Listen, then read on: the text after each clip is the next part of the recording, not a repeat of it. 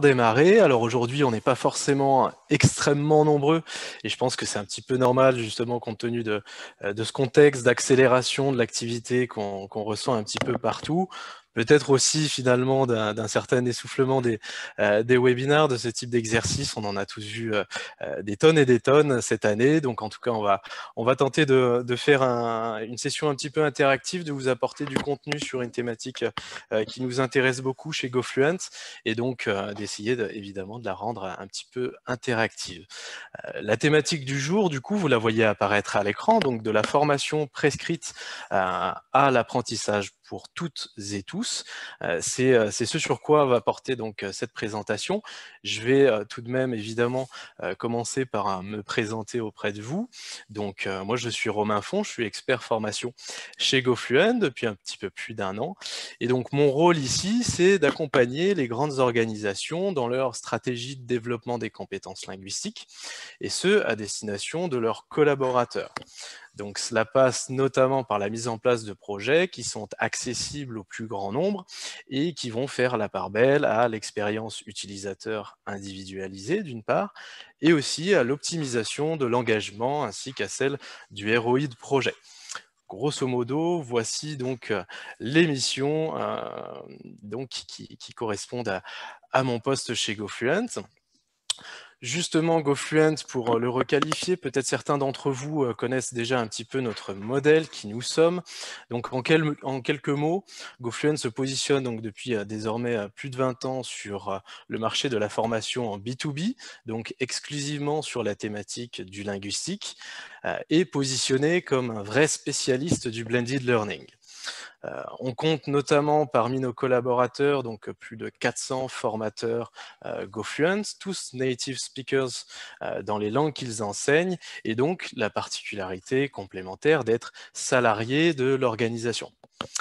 Et donc, notre présence, euh, notamment dans, plus de 17 bureaux à travers le monde, elle nous permet d'accompagner de très nombreux groupes internationaux euh, sur des projets justement de grande ampleur et souvent pilotés de façon locale, ce qu'on pourra revoir un petit peu par la suite.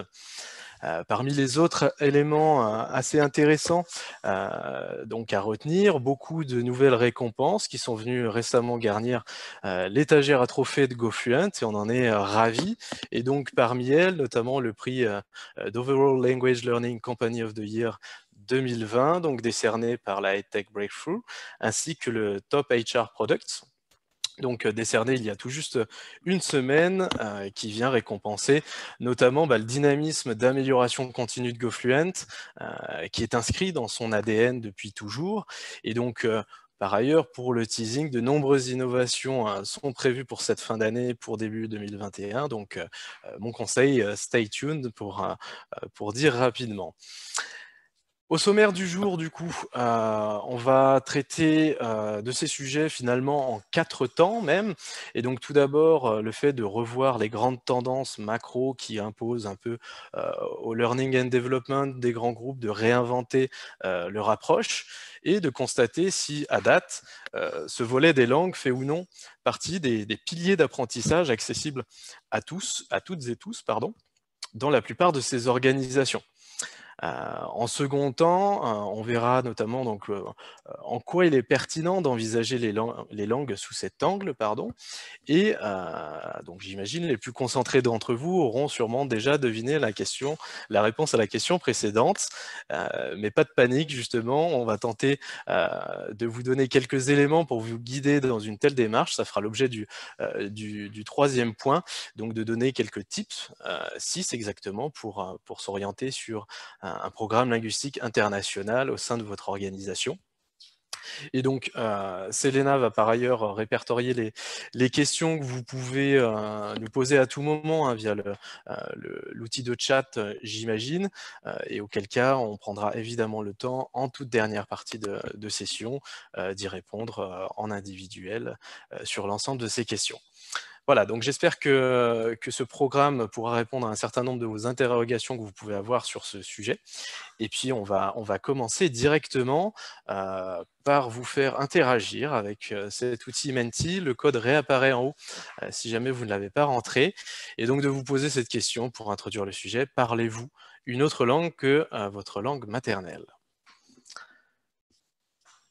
Je vous laisse quelques petites secondes. L'idée, c'est vraiment déjà de se faire la main avec ce type d'outil, si jamais c'est la première fois que vous l'utilisez. Je pense que ça se fait de, quand même de plus en plus sur des webinaires interactifs et c'est tant mieux. Donc on est sur un 100% oui.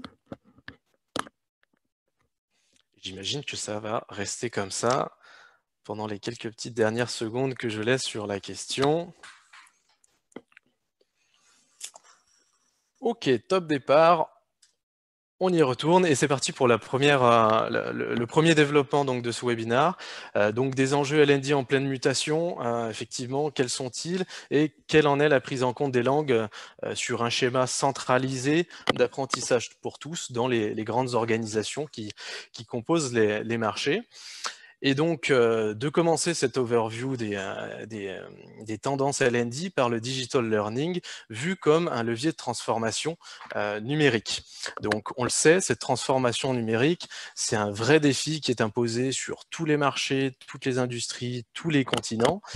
Et donc, d'ailleurs, une année comme celle que nous vivons actuellement, elle souligne d'autant plus la, la, notion, on va dire, d'incertitude économique à, tous les étages et qui font d'ailleurs craindre pour des modèles euh, donc économiques, pour des métiers aussi. On sait très bien que euh, de très nombreux métiers ont une obsolescence déjà bah, programmée en l'occurrence, et des modèles d'entreprise peut-être disruptés demain par une nouvelle technologie notamment.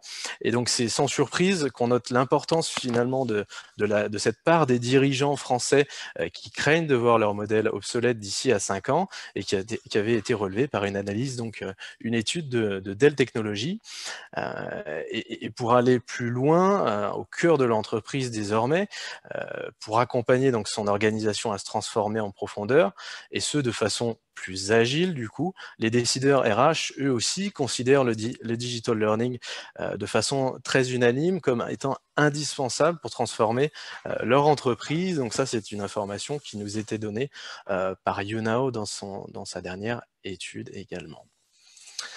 Un autre élément, donc euh, parmi, euh, parmi ces, grandes tendances que l'on relève, qui dit digital learning euh, dit très souvent learning management system ou bien encore learning experience platform, donc comme, vu comme des leviers technologiques qui vont permettre d'accélérer, de fluidifier ce, ce, fameux accès à la formation.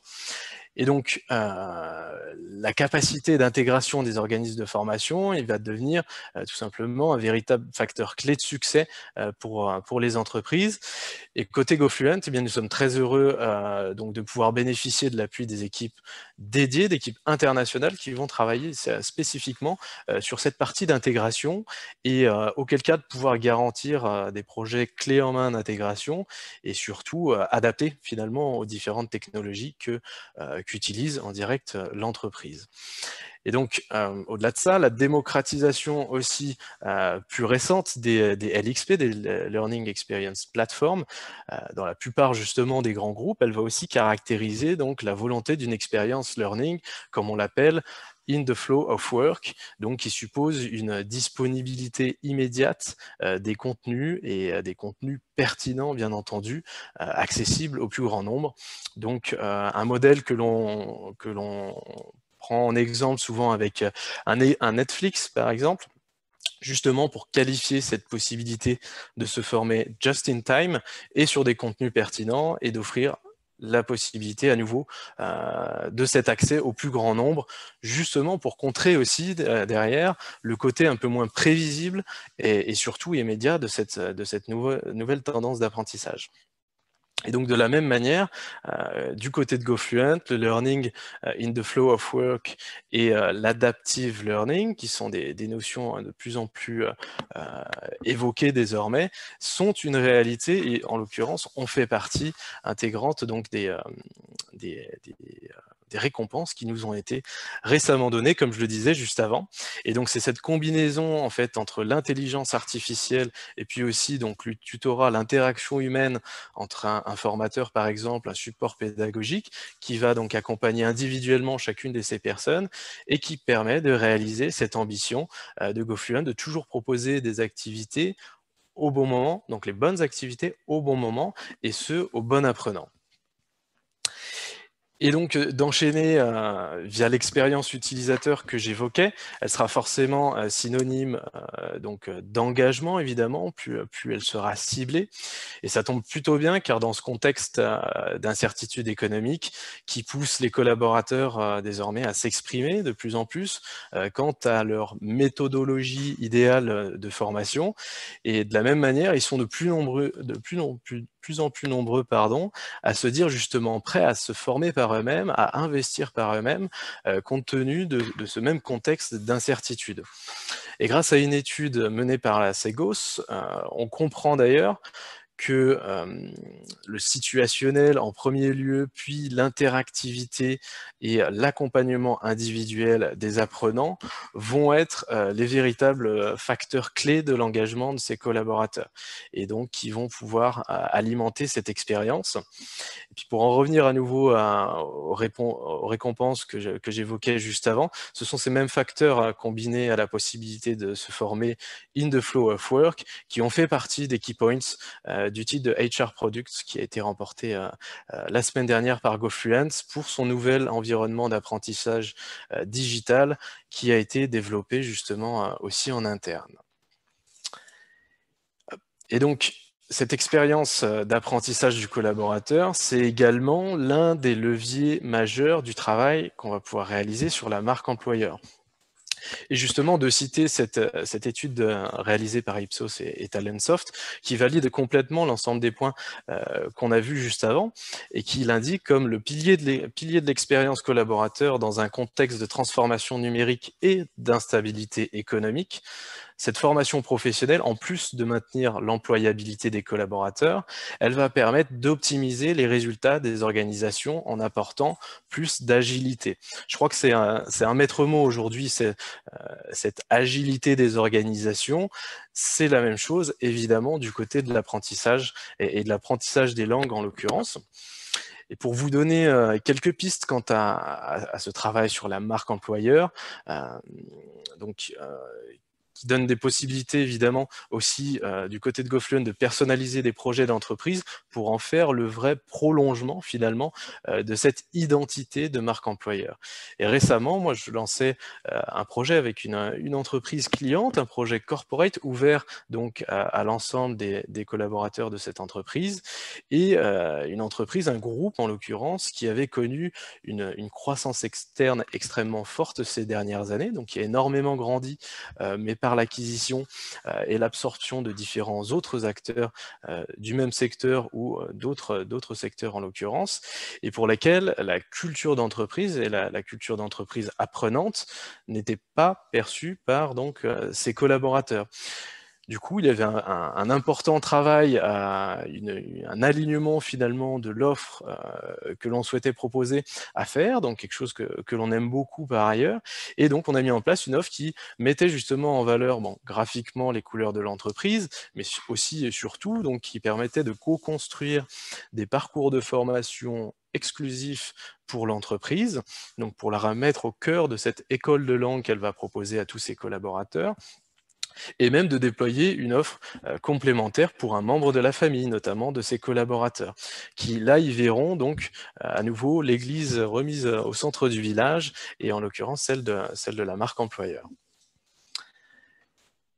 Et donc, euh, pour faire ce, petit distinguo, ce, parallèle et analyser dans le détail euh, où nous en sommes aujourd'hui entre la formation prescrite, l'apprentissage pour toutes et tous, euh, on remarque donc avec ce, nouveau baromètre SEGOS, donc à qui la formation linguistique est-elle offerte? Et le cas échéant, comment, et on s'aperçoit que dans 43% des entreprises qui sont interrogées, euh, l'entrée en formation est permise euh, pour des collaborateurs qui en ont fait la demande, qui en ont exprimé le besoin.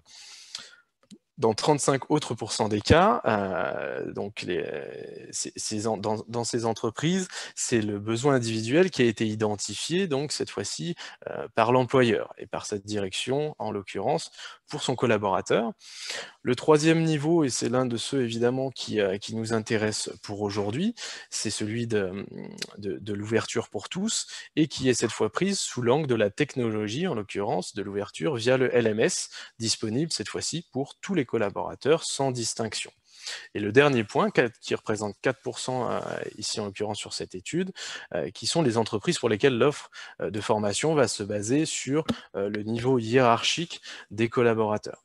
Donc a priori, une proportion qui, euh, qui s'amenuise euh, désormais. Et donc on comprend qu'il y a déjà une dynamique d'apprentissage euh, pour tous, c'est un, premier point, et qu'elle se démocratise d'ores et déjà via ce volet de la technologie qu'on évoquait juste avant sur la partie LMS LXP comme l'accélérateur justement de l'accès à l'apprentissage des langues. On poursuit, euh, si vous le voulez bien, avec une nouvelle question. Je ne sais pas si vous êtes euh, encore connecté à, Menti, pardon. Et donc l'objectif était de savoir ici, donc dans votre organisation, dans votre entreprise, euh, quelles sont les formations qui vont être offertes à l'ensemble du, du, personnel, l'ensemble de vos collaborateurs. L'idée est de comprendre notamment si elle suit donc nous l'analyse qu'on en fait déjà parmi les, études qu'on a retrouvées. Alors, j'ai tout qui s'affiche en même temps, donc j'arrive plus à lire. Anglais, d'accord. Technique, organisation, Excel, développement professionnel, management, langue, commercial. Je laisse encore quelques petites secondes. Commercial à nouveau, cycle RH, formation obligatoire,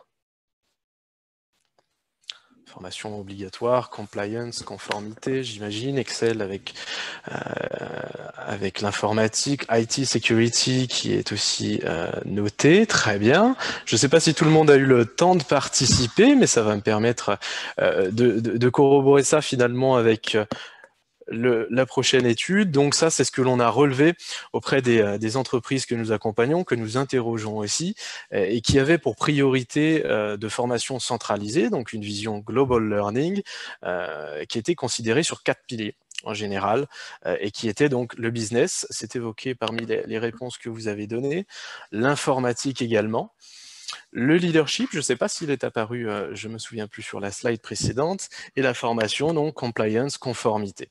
Et c'est sur ces, schémas-là qu'en général, les entreprises euh, vont euh, avoir tendance à ouvrir finalement un accès à l'ensemble de leurs collaborateurs et c'est un constat que, que l'on a pu faire.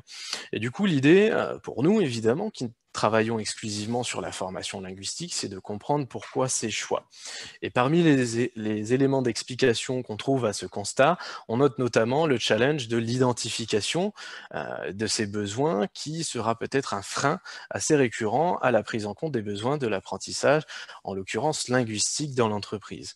Et donc cette infographie nous permet notamment de comprendre qu'il y a plusieurs niveaux d'identification, vous le savez bien entendu, et que celui peut, peut péché, soit euh, au niveau de la responsabilité hiérarchique, puis euh, de celui de la direction des ressources humaines, éventuellement identifié, mais pas forcément pris en compte, donc rien n'est mis en face, ou éventuellement, donc cette fois-ci, les besoins qui sont effectivement identifiés et pris en compte, euh, qui du coup ne viennent pas confirmer la question précédente. À nouveau sur de l'interactif, euh, une nouvelle question désormais. On a vu effectivement relativement rapidement certains points, grandes tendances, euh, comme on le caractérisait euh, du côté de, des, des, besoins, du travail à effectuer sur, sur la plupart des organisations LND LND Monde aujourd'hui. Et, la question est de savoir dans votre organisation quel ordre de priorité vous donneriez aux quatre piliers que j'identifie en dessous, donc ceux qu'on a développés juste avant, c'est-à-dire développer le digital learning, fluidifier l'accès aux formations en les intégrant un LMS, un LXP. Tout a bougé, donc je ne les vois plus. Rechercher des offres qui adressent euh, davantage euh, l'engagement des collaborateurs. Ou bien encore, personnaliser davantage les projets de formation en ligne avec cette marque employeur, justement. Et ça, c'est un sujet intéressant. Bien entendu, euh, peut-être que toutes ces notions sont à prendre en compte en même temps, sont peut-être quatre défis simultanés pour vos entreprises. Euh, l'idée ici, c'est de comprendre quels vont a priori être sur une échelle de, répondants la priorité. Là, pour l'instant, on voit que ce serait le, développement du digital learning qui corrobore aussi donc cet enjeu de transformation numérique qui est toujours, toujours très prégnant. Je laisse encore peut-être quelques petites secondes.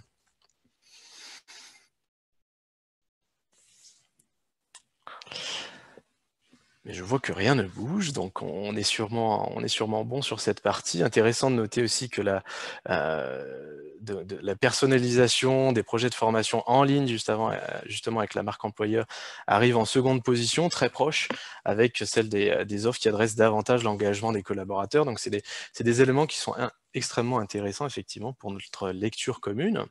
Et donc la deuxième partie de, cette présentation, euh, c'est effectivement de comprendre pourquoi les compétences linguistiques sont effectivement primordiales euh, dans le monde d'aujourd'hui et qu'elles devraient euh, être potentiellement accessibles à l'ensemble des collaborateurs, l'ensemble des qui composent finalement une organisation, votre organisation, pourquoi pas demain. Donc l'un des premiers points, évidemment, donc toujours de, façon très macro, la croissance mondiale. Euh, et pour l'illustrer, donc euh, la McKinsey Company euh, indiquait que la croissance mondiale connaissait donc une forte accélération, drivée principalement par les marchés émergents. Donc en allant jusqu'à noter que d'ici à 2025, cette consommation globale mondiale aura doublé son niveau de 2013, donc c'est extrêmement important. Et évidemment, en grande partie euh, drivé toujours par ce dynamisme des économies émergentes. Et donc, ça sous-entend par ailleurs que la langue euh, internationale du business, évidemment, à savoir l'anglais, euh, sera toujours plus cruciale demain et euh, permettra aussi donc à ces organisations qui ont un fort besoin d'agilité aujourd'hui et de démarcation, eh ben, d'adresser parfois des marchés qui sont déjà saturés avec beaucoup plus d'efficience, bien entendu.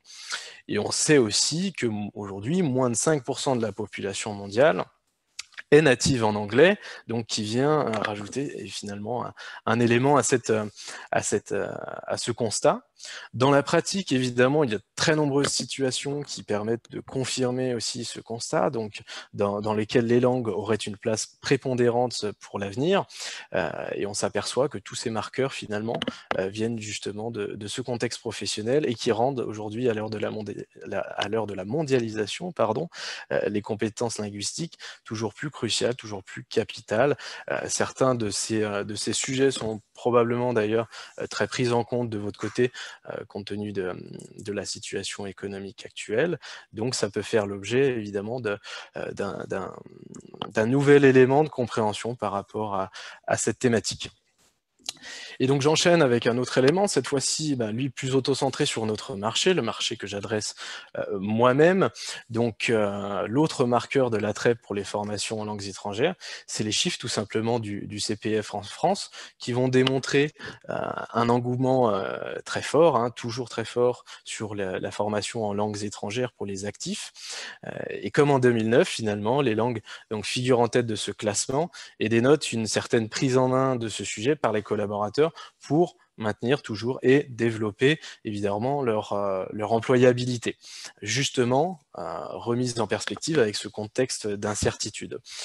De mon côté, avec euh, la connaissance cette fois-ci d'autres dispositifs, avec mon expérience personnelle euh, sur euh, le dispositif FNE en France, que j'ai suivi avec certains de mes clients, donc trois grands groupes en l'occurrence, et, pour chacun d'entre eux, finalement, quand je les ai accompagnés dessus, les langues se sont retrouvées complètement plébiscitées par les collaborateurs, puisqu'on avait une ouverture pour potentiellement la totalité d'entre eux, et ce donc même devant les soft skills, même devant les besoins métiers, et et ce qui m'a ce qui, ce qui permis d'analyser tout ça a posteriori, euh, c'est aussi que la surprise de mes de mes contacts dans ces entreprises, bah, finalement, elle, elle expliquait aussi peut-être euh, les contraintes qu'il existe aujourd'hui sur l'identification de ces besoins en langue, euh, parce qu'une telle surprise était assez surprenante justement, c'est le cas de le dire, pour pour pour faire ce, ce type de constat.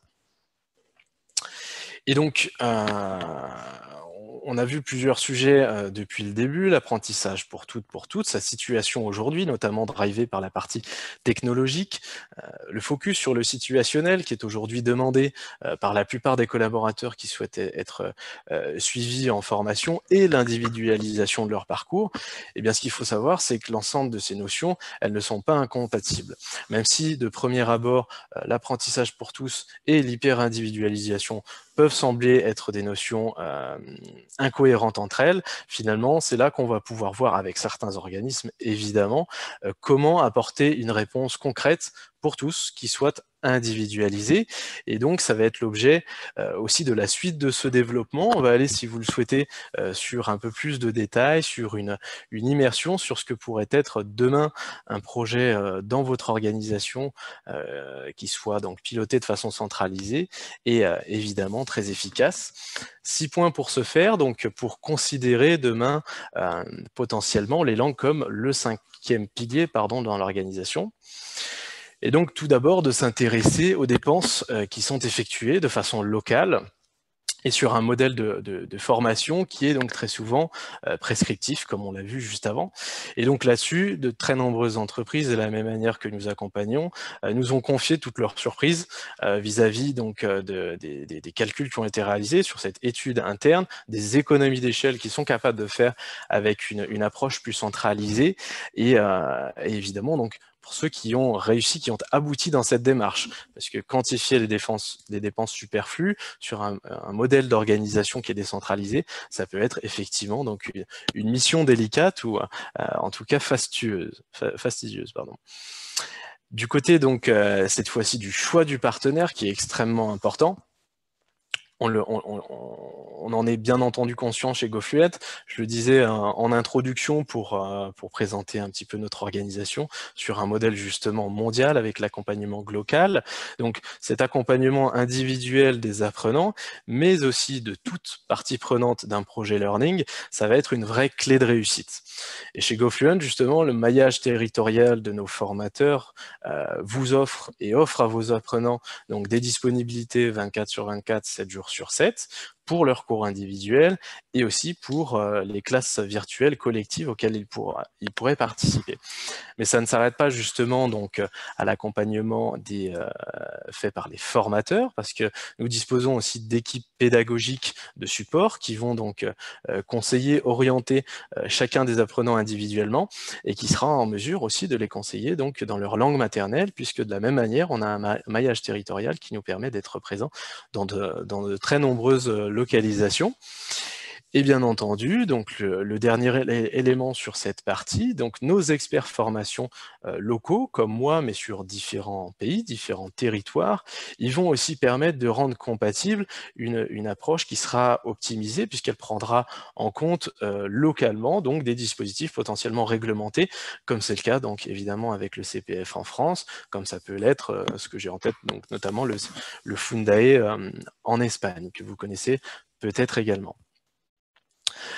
une autre partie, donc euh, le pilotage de, de projets learning de façon globale, c'est aussi donc bénéficier d'une vue d'ensemble euh, pour s'assurer de la cohérence du dispositif, du projet, mais aussi de pouvoir l'adapter, de pouvoir le piloter localement.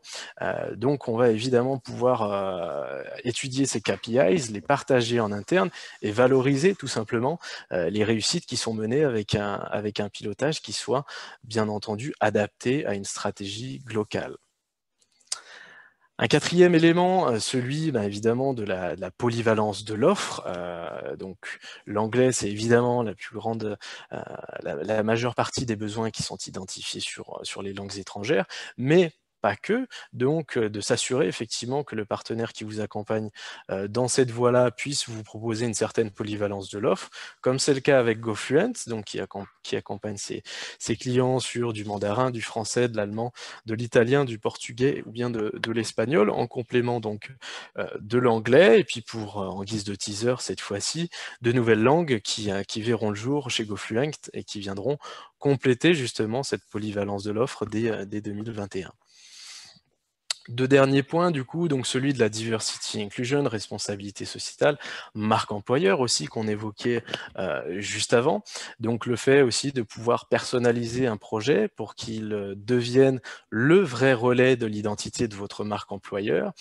Et, cela, évidemment, ça va rejoindre euh, justement cette tagline de GoFluent qui est donc de to give everyone an equal voice. Et donc c'est une réalité, cette volonté de, de s'imprégner de votre culture de votre identité et de la rendre, de la sublimer finalement euh, via les, parcours donc linguistiques qui sont accompagnés. Et donc un dernier élément euh, important lui aussi, donc de tirer parti de l'infrastructure existante. Donc cette fois-ci, on parle euh, de nouveau de LMS, de LXP, qui vont venir justement euh, fluidifier l'accès à, ces formations pour tous, et de savoir que GoFluent, justement, cerise sur le gâteau, est partenaire de la, plupart des plus grands de ces, acteurs-là, dont ceux qui apparaissent à l'écran, un Skillsoft, un Cornerstone, un Degreed ou un Cross Knowledge, et donc qui, euh, qui valident évidemment de leur côté la cohérence du modèle de GoFluent et surtout les taux d'utilisation de la part des, euh, apprenants que, nous suivons. Euh, et évidemment, c'est ce qui corrobore avec ce que je disais en introduction, donc des équipes qui sont dédiées à l'intégration et qui permettent d'avoir quelque chose de clé en main qui fonctionne et qui permettent demain d'avoir un, accès pour toutes et tous je vais vous refaire participer de nouveau. Donc, euh, euh, cette fois-ci, pour connaître un petit peu quelles sont de votre côté vos priorités pour 2021-2022 en matière de, de LND.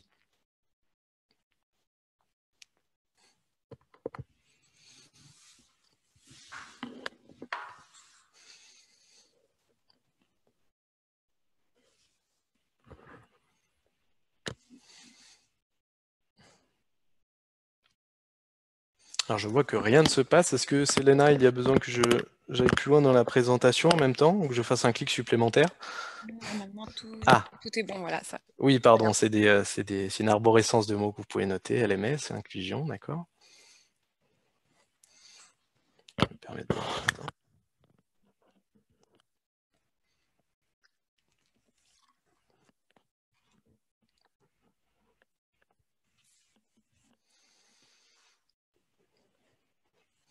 Management.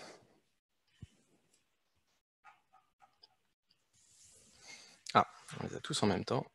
Autre langue que l'anglais. Bah, du coup, ça, euh, ça vient justifier aussi euh, ce qu'on disait juste avant, hein, le fait d'aller plus loin, de voir au-delà que l'anglais, leadership, compliance. On revient évidemment sur, euh, sur ces éléments qu'on notait aussi tout à l'heure, le management.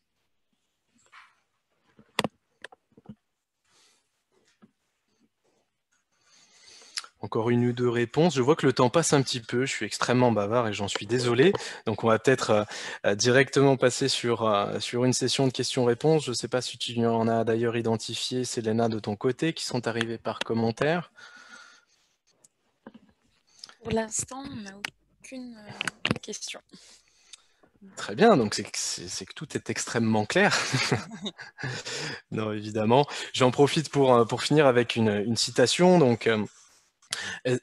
est-il vraiment logique de former tout le monde au leadership notamment? Donc je fais volontairement un, parallèle sur une autre thématique justement de formation. Et donc cette réponse d'un ex-CLO d'IBM dans les années 90, ça ne date pas d'hier, euh, qui disait donc je ne m'attends pas à ce que tout le monde soit ni devienne leader, mais je souhaite que tout le monde pense comme un leader et qui venait justement justifier son ambition de rendre accessible pour tous, euh, ou pour un maximum en l'occurrence, euh, ces formations, en l'occurrence ici sur, sur une thématique de leadership. Donc voilà de mon côté. Euh, désormais, c'est le temps pour les questions-réponses. J'ai peut-être un petit peu dépassé, donc euh, certains d'entre vous sont, euh, jouent contre la montre désormais. Mais en tout cas, voilà, c'était un plaisir d'animer cette, cette session de webinar courte, en l'occurrence aujourd'hui, avec vous, pilotée aussi par, par Selena, bien entendu. Et puis, donc, euh, au plaisir, évidemment, d'aller plus loin dans ces échanges, de comprendre un petit peu euh, vis-à-vis de vos priorités de formation pour l'année prochaine, ce qu'on notait aussi euh, précédemment. Si vous avez des questions, par ailleurs, auxquelles je ne saurais pas répondre à l'instant, ce sera avec plaisir pour, pour vous voir tout ça ensemble a posteriori. En tout cas, je vous remercie très vivement. Et, et si, si, certains sont déjà sur le départ, je vous souhaite évidemment une, une très bonne après-midi.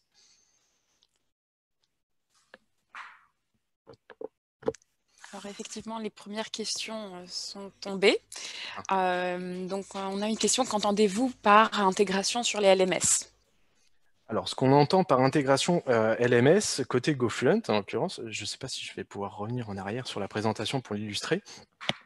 Mais ce que l'on va entendre justement, c'est le fait de faire un pont de connexion entre l'environnement LMS, LXP en l'occurrence, et l'environnement digital GoFluent. Parce que l'environnement digital GoFluent, donc, euh, il permet d'accéder à différents types de modalités, e-learning, classe virtuelle, cours individuels à distance notamment. Et donc l'idée, pour conserver aussi euh, quelque chose qui ne soit pas, euh, qui ne suppose pas du côté de l'organisation une mise à jour régulière de l'outil, parce que nous-mêmes nous mettons très souvent à jour évidemment de nouvelles ressources, de nouvelles activités et notre outil. Finalement, c'est seulement un pont de connexion avec différents types de technologies existantes, le, modèle SCORM, le modèle euh, SAML notamment, et la possibilité d'aller plus loin en adaptant avec des API, des connecteurs euh, au modèle de votre entreprise. Euh, d'ailleurs, pour ça, pour être plus complet et pour avoir aussi la, garantie de la part de nos experts que je ne suis pas sur la partie LMS, j'aurais tendance à vous, vous inviter à consulter un webinaire dédié. Alors, ça fait beaucoup de webinaires en ce moment, ou en tout cas d'ouvrir la discussion sur euh, cette partie LMS, euh, si ce sujet évidemment vous intéresse euh, pour aller plus loin.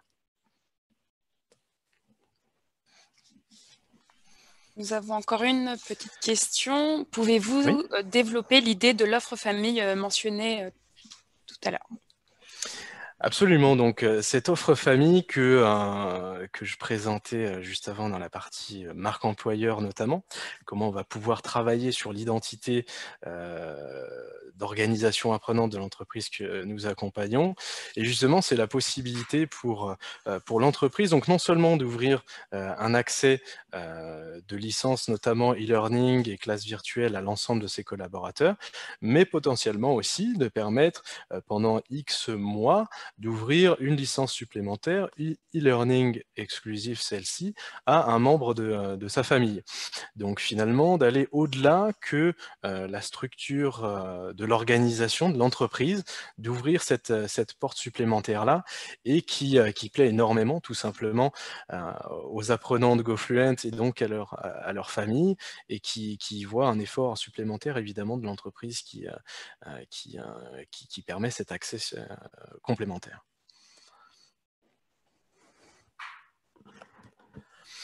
Ensuite, une autre question. Comment assurez-vous un taux de connexion suffisant si vous adressez à un, très large public? N'a-t-il pas un risque de dissolution? Alors, il y a plusieurs euh, méthodes tout simplement pour travailler sur euh, cette notion d'engagement. C'est ce qu'on évoquait aussi en, en, début de présentation. Et au-delà de ça sur, sur son analyse. En tout cas, chez GoFluent, ce qui est très important de noter, c'est qu'on a déjà un accès donc euh, tout en un. L'idée, c'est euh, quelque chose d'extrêmement fluide. On parlait de LMS notamment. On a accès à un environnement d'apprentissage euh, sur lequel tout est extrêmement simple d'utilisation pour justement dynamiser donc les accès, l'activité des, des, des, individus qui s'y connectent. D'une part, donc, elle n'est pas réduite à une partie de e-learning puisqu'on a aussi des classes virtuelles collectives euh, qui sont déjà un outil interactif avec un formateur euh, auquel on peut se connecter et ce de façon extrêmement flexible sans sans réservation préalable, je voulais dire, et, donc qui vont déjà permettre d'avoir cet outil interactif. Et au-delà de ça, bah, c'est aussi tout le travail collaboratif des équipes de GoFluent, comme je le disais, qui ne sont exclusivement orientés sur le marché des professionnels et donc pour lesquels nous avons des équipes notamment de Learning Engagement, pardon, des Learning Consultants, une équipe donc support pédagogique qui vont communiquer régulièrement en accord et en ligne évidemment avec euh, l'organisation que nous accompagnons pour délivrer des messages toujours plus euh, pertinents, toujours plus ciblés, et, euh, et, donc qui vont encore générer de l'engagement. Euh, sachant que tout cela, c'est aussi personnalisable. J'évoquais tout à l'heure le fait de pouvoir personnaliser avec une entreprise des parcours de formation qui seraient donc exclusivement dédiés à son, à, son périmètre, à son organisation, et qui là encore vont générer davantage de trafic de la part des collaborateurs. Donc c'est un, une spécificité GoFluent en l'occurrence que, que nous avons souhaité mettre en place et qui fonctionne très bien. Euh, et puis euh, d'autres encore possibilités. de la même manière, on a, on a une, thématique de webinaire qui est dédiée à ce sujet, mais on pourra faire évidemment un point plus complet si vous avez d'autres questions sur cette thématique celle du learning engagement, en l'occurrence, de pouvoir générer plus de trafic, plus d'intérêt. Et puis, je, complète en même temps puisque ça me, vient à l'esprit, cette notion d'adaptive learning, le fait de proposer donc in the flow of work aussi les bons contenus au bon moment aux, bons apprenants, c'est justement cette combinaison entre l'intelligence artificielle et son moteur qui nous permet donc de délivrer ces bons contenus et donc tout cela alimenté aussi par l'intervention humaine, celle des, formateurs, celle des learning consultants également.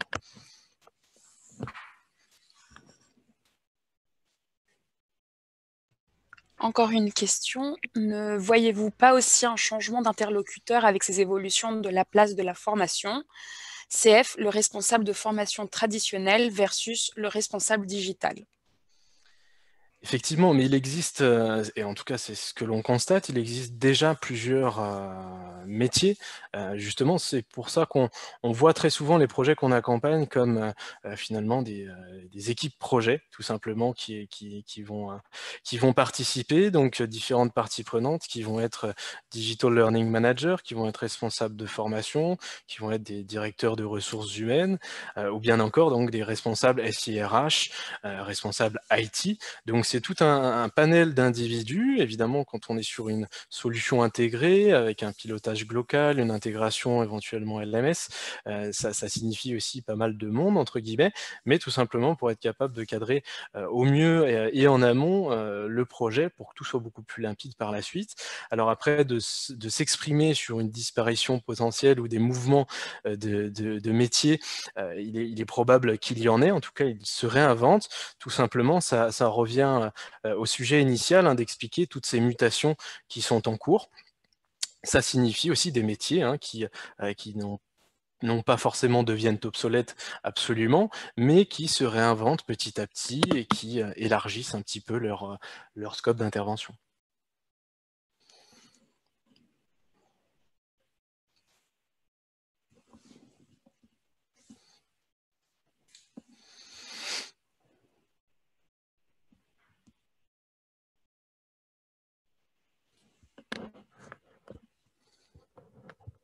C'est bon pour toi, Selena? Je t'entends plus. Oui, oui, effectivement, parce qu'on n'a pas d'autres questions. D'accord. Et on est bon niveau timing aussi. Effectivement, je pense qu'on n'a pas trop dépassé. Euh, je ne sais pas si tu souhaites euh, clôturer la, présentation. En tout cas, euh, de nouveau, évidemment, euh, n'hésitez absolument pas à revenir vers nous pour donc euh, soit donner votre avis, évidemment, qui soit bon ou mauvais sur la présentation. Si vous avez des questions supplémentaires à, nous faire parvenir, s'il y a des éléments que vous souhaitez creuser, évidemment et volontairement, ce n'était pas une présentation absolument complète, donc il reste des, sujets à explorer ensemble, à explorer de façon aussi personnalisée, pourquoi pas pour vos projets de demain. Et donc, pour cela, toutes nos équipes hein, d'experts de formation se, se tient à votre disposition pour vous renseigner, euh, et donc ce, dès, dès, que vous le souhaitez, évidemment. Parfait. Et je souhaitais évidemment vous remercier pour votre, votre attention et, vous souhaiter de nouveau une, excellente journée. Euh, et à très bientôt.